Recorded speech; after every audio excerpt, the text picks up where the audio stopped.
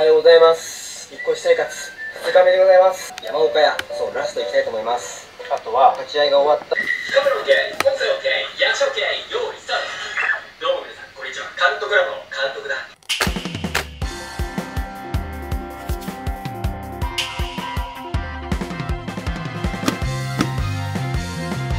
よーいカメラ OK 音 OK 役者 OK よさあどうも皆さんこんにちは監督ラボの監督です友達と大画面でゲーム、スポーツ中継、ライブ DVD 鑑賞、そしてたまには一人映画館、180度回転、天井投影もできるコスパがいいプロジェクターを紹介します。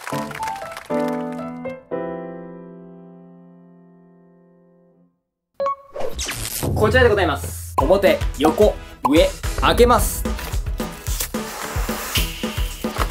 取説スマートプロジェクター後ろ側日本語表記で書かれております。電源コード。HDMI ケーブル。リモコン。では行きます。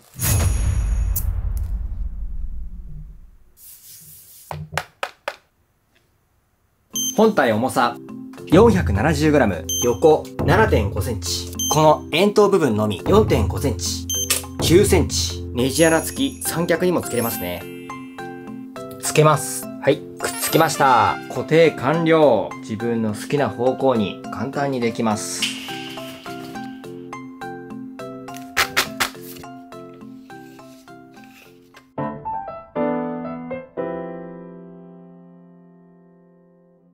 コンパクトで高性能。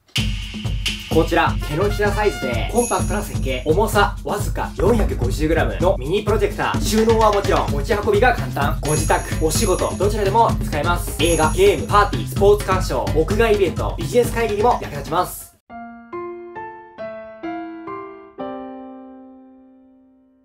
大画面、大迫力の130インチ。画面投影サイズは40から130インチまで投影可能。放射距離は1.2から4メートルまで。解像度は 1280×720 で小型でありながら自然な色合い。1万ルーメンの比較的高輝度で映像を楽しめます。電源ケーブルのコネクタ。こちらが電源ボタン。長押しで電源がつきます。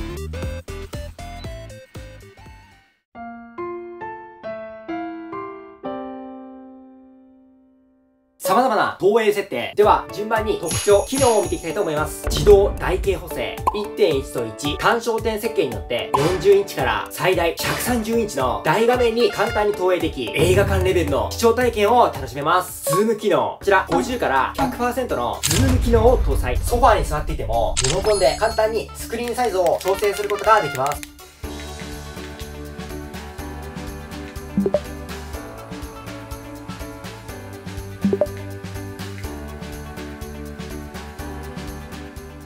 の場で180度回転。はい、こちらですね。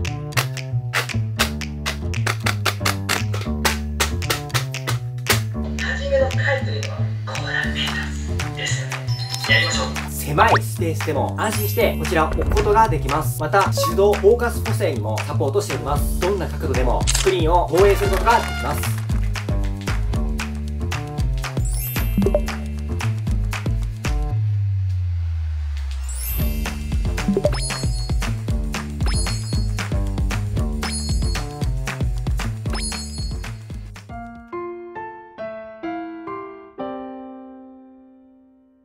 Android システム搭載 Android TV 11.0を内蔵動画配信サービス Netflix、Disney プラス、Amazon プライム、Hulu などご自身のアカウントにログインすることですぐに大画面投影で映像を楽しむことができます。この Android TV 11.1はたくさんのアプリとコンテンツを楽しむこともできます。なお、注意点として現在 iOS 用の Android 用のミラーキャストのミラーリングは著作権上の関係でアプリを直接投影することはできません。ご自身のノートパソコンや Fire Stick にこの付属の HDMI ケーブルを差し込んで接続して見ることができます。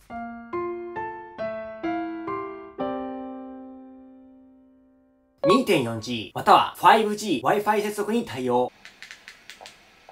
一般的な 2.4G、超高速な 5G と帯域、両方が使用可能です。低遅延のため、ゲームも快適にプレイでき、大画面での映画鑑賞にもおすすめです。ちなみに Wi-Fi が接続できない環境にいる場合、プロジェクターに直接 USB ケーブルや HDMI ケーブルで有線接続を使うという方法もございます。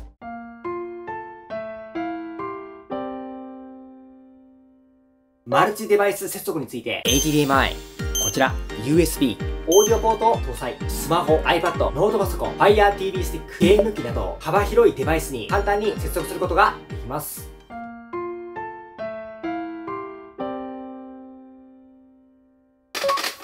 ちらのプロジェクター、いかがだったでしょうか？このプロジェクター、購入後、すぐ大画面で投影することが可能です。壁や天井、どんな場所でも投影が可能。個人用、仕事用、みんなでワイワイ、大人数パーティー、ありとあらゆる用途に備えられる小型プロジェクターです。実際にこちら、とても軽いので、急な出番でもすぐ活躍できるのも、とても大きなおすすめポイントの一つです。このプロジェクター、興味がありましたら、ぜひ詳細をご覧ください。監督ラボの監督でした。また次の動画で会いましょう。やっぱ、お高いプロジェクターはすぐに買えないけど、1万円ちょっとで買える、この小型プロジェクター、入門機には最適です。本番いきます。よーいだいぶ、単、小、単、焦点。設置の部分は固定。